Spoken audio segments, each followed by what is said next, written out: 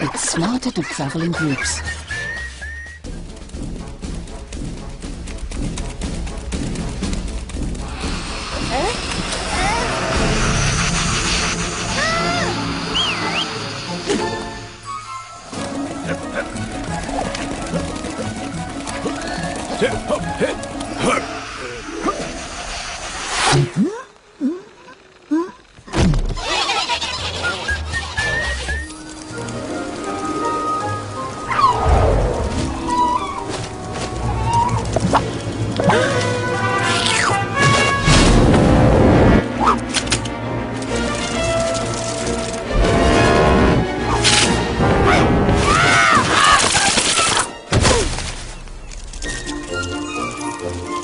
Thank you.